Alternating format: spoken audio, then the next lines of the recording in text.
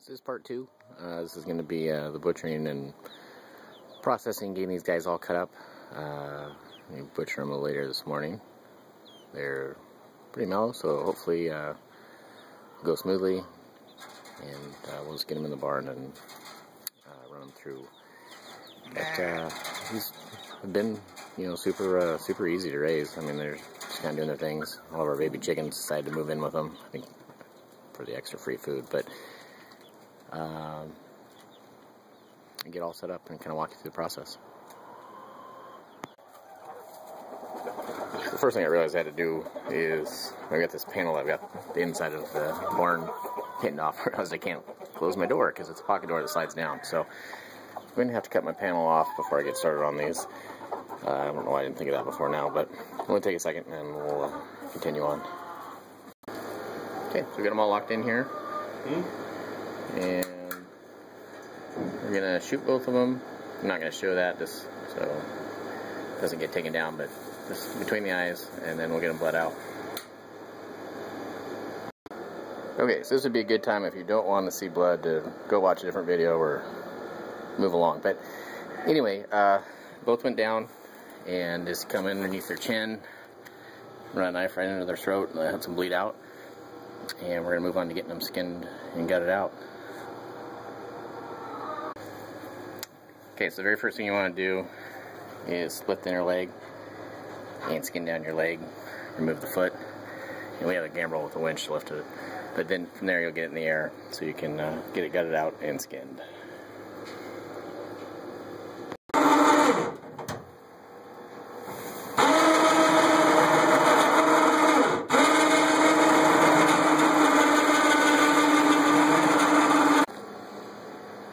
Okay, so once you get it up and have your uh, split there in the back, you just bring it down. Uh, we're going to get this actually skinned out and then gut it. Um, this makes it a little less soupy. And uh, when you get down here to the front legs, you want to get those skinned out before you get your hide down over, otherwise you have to fight your front legs out. So, quick thing on the back part. Sorry, it's a little dark here, but when you get to the butt, you just cut right through the anus there, and then you'll get down to the tail, and you can just uh, run your meat saw, or if you've got a good beat on it, you can actually just cut through with your knife, and it'll just keep on going down. Okay, so you just, uh, once you get the hide off, you split it, you use your fingers to run down the inside.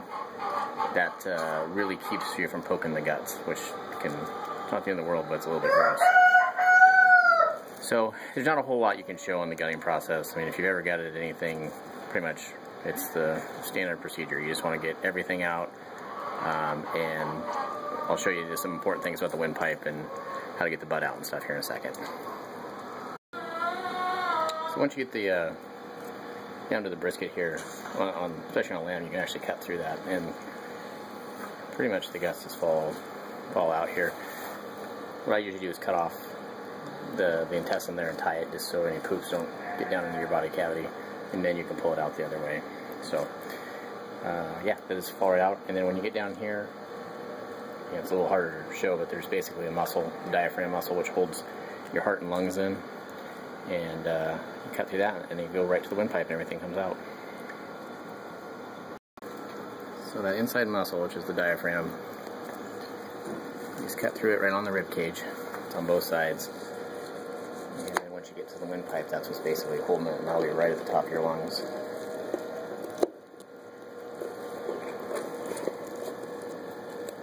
If you come through that last little piece, everything will just pop out of there.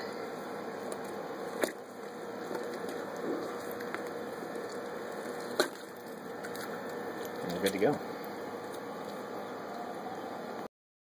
Okay, once you get everything out, um, basically you're going to go around to the back and ream right around its butt and you'll be able to pull uh, everything out of that cavity so you can end up seeing through it.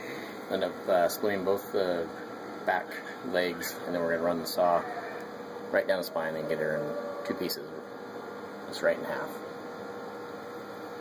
Okay, back here on the butt, I kind of mentioned this on the last one, didn't didn't show it, but you're basically going to take your knife, cut all the way around this from the outside and then you come back on the inside. Sorry, it's kind of dark there, but uh, the goal is basically not to get any of the poop and or any of the contents of the bladder to spill.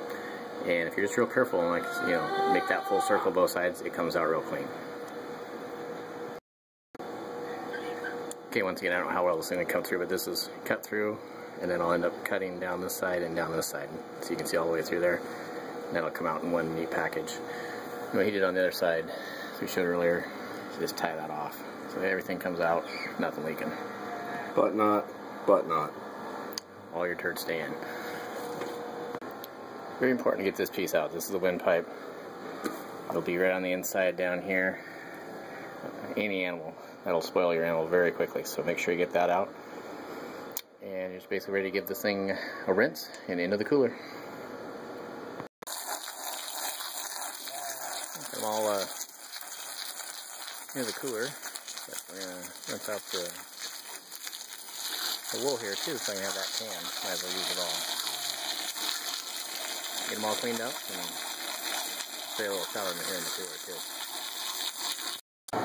So in product, uh, four halves.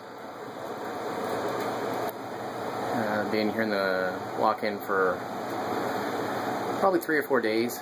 I'd like to do longer, but I just it's not going to work out time-wise. But uh, the next video will be on cutting them up. So that'll be part three, and I'll show you at least how I process them into uh, to meal portions. So until then, thanks for watching.